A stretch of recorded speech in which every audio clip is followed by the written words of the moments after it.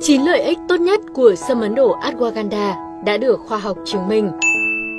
Ashwagandha là một loại thảo dược cực kỳ tốt cho sức khỏe.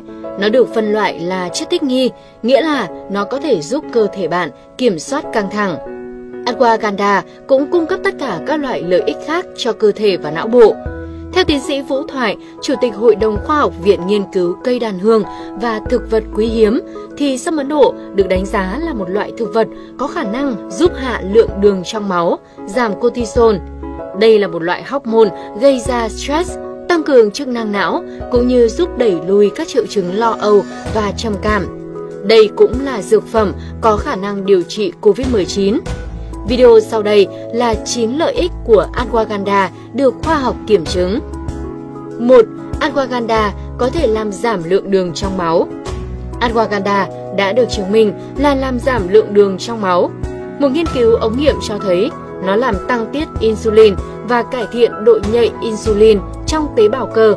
Ngoài ra một số nghiên cứu ở người đã xác nhận khả năng làm giảm lượng đường trong máu ở cả người khỏe mạnh và những người mắc bệnh tiểu đường Tại Viện Y học IOM của Mỹ, trong một nghiên cứu kéo dài 4 tuần ở nhóm người bị tâm thần phân liệt, những người được điều trị bằng ashwagandha đã giảm mức đường huyết lúc đói trung bình là 13,5 so với 4,5 ở những người dùng giả dược. Hơn nữa, trong một nghiên cứu nhỏ ở 6 người mắc bệnh tiểu đường loại 2, bổ sung ashwagandha trong 30 ngày làm giảm mức đường huyết lúc đói cũng hiệu quả như một loại thuốc trị tiểu đường đường uống. 2. Ashwagandha có đặc tính chống ung thư. Các nghiên cứu trên động vật và ống nghiệm đã phát hiện ra rằng ashwagandha gây ra apoptosis. Apoptosis là cái chết được lập trình của các tế bào ung thư. Nó cũng cản trở sự phát triển của các tế bào ung thư mới theo nhiều cách. Đầu tiên, ashwagandha được cho là thúc đẩy sự hình thành các loài oxy phản ứng AOS bên trong tế bào ung thư, phá vỡ chức năng của chúng Thứ hai, nó có thể làm cho các tế bào ung thư trở nên kém kháng apoptosis.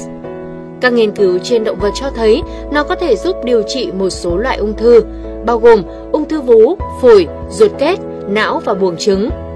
Trong một nghiên cứu, những con chuột có khối u buồng trứng được điều trị bằng ashwagandha đơn thuần hoặc kết hợp với một loại thuốc chống ung thư đã làm giảm 70% đến 80% trong sự phát triển khối u.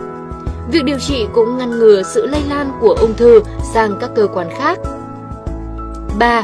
Ashwagandha có thể làm giảm mức độ cortisol. Cortisol được gọi là hormone căng thẳng vì tuyến thượng thận của bạn giải phóng nó để đáp ứng với căng thẳng, cũng như khi lượng đường trong máu của bạn xuống quá thấp. Thật không may, trong một số trường hợp, nồng độ cortisol có thể tăng cao mãn tính, Điều này có thể dẫn đến lượng đường trong máu cao và tăng lưu trữ chất béo trong bụng. Các nghiên cứu đã chỉ ra rằng ashwagandha có thể giúp giảm mức cortisol. Trong một nghiên cứu của Viện Nghiên cứu cao cấp Princeton, Hoa Kỳ, ở những người trưởng thành bị căng thẳng mãn tính, những người bổ sung ashwagandha làm giảm đáng kể lượng cortisol so với nhóm đối chứng. Những người dùng liều cao nhất sẽ giảm 30% trung bình. 4. Ashwagandha giúp giảm căng thẳng và lo lắng. Ashwagandha sẽ được biết đến với khả năng giảm căng thẳng. Các nhà nghiên cứu báo cáo rằng nó đã chặn đường căng thẳng trong não của chuột bằng cách điều chỉnh tín hiệu khoa học trong hệ thống thần kinh. Một số nghiên cứu có kiểm soát ở người đã chỉ ra rằng nó cũng có thể làm giảm các triệu chứng ở những người bị rối loạn căng thẳng và lo âu một cách hiệu quả. Trong dự án nghiên cứu tại Trường Đại học Khoa học Y tế Baba Faris Ấn Độ, kéo dài 60 ngày ở 64 người bị căng thẳng mãn tính. Những người trong nhóm bổ sung đã báo cáo giảm trung bình 69% tình trạng lo âu và mất ngủ, so với 11% ở nhóm giả dược. Cũng trong một nghiên cứu khác tại đây, kéo dài 6 tuần, 88% những người dùng ashwagandha đã báo cáo giảm sự lo lắng so với 50% những người dùng giả dược. 5. Ashwagandha làm giảm các triệu chứng trầm cảm.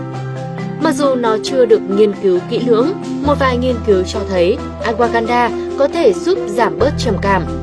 Trong một nghiên cứu kéo dài 60 ngày của trường đại học Baba Faris, Ấn Độ, ở 64 người trưởng thành bị căng thẳng, những người dùng 600mg chiết xuất ashwagandha nồng độ cao mỗi ngày báo cáo giảm 79% trầm cảm nặng, trong khi nhóm giả dược báo cáo tăng 10%. Tuy nhiên, chỉ một trong những người tham gia nghiên cứu này có tiền sử trầm cảm. Vì lý do này, sự liên quan của kết quả là không rõ ràng. Ashwagandha giúp tăng cường testosterone và tăng khả năng sinh sản ở nam giới. Bổ sung ashwagandha có thể có tác dụng mạnh mẽ đối với mức độ testosterone và sức khỏe sinh sản. Trong đề tài nghiên cứu của Đại học California, Mỹ, ở 75 người đàn ông vô sinh, nhóm được điều trị bằng Aquaganda cho thấy số lượng tinh trùng và khả năng vận động tăng lên. Hơn nữa, việc điều trị đã dẫn đến sự gia tăng đáng kể nồng độ testosterone. Các nhà nghiên cứu cũng báo cáo rằng nhóm dùng thảo dược đã tăng mức độ chống oxy hóa trong máu. Trong một nghiên cứu khác, những người đàn ông nhận được ashwagandha vì căng thẳng đã trải qua mức độ chống oxy hóa cao hơn và chất lượng tinh trùng tốt hơn. Sau 3 tháng điều trị, 14% đối tác của nam giới đã mang thai. 7. Ashwagandha giúp làm tăng khối lượng cơ bắp và sức mạnh. Nghiên cứu tại Viện Khoa học Y khoa Data Meje, Ấn Độ đã chỉ ra rằng ashwagandha có thể cải thiện thành phần cơ thể và tăng sức mạnh. Cũng trong một nghiên cứu để xác định lưu lượng an toàn và hiệu quả đối với ashwagandha, những người đàn ông khỏe mạnh đã sử dụng 750 đến 1200 mg của rễ ashwagandha nghiền nát mỗi ngày để tăng sức mạnh cơ bắp sau 30 ngày. Trong một nghiên cứu khác, những người dùng ashwagandha có mức tăng lớn hơn đáng kể về sức mạnh và kích thước cơ bắp. Nó cũng tăng hơn gấp đôi tỷ lệ giảm mỡ cơ thể so với nhóm giả dược. 8.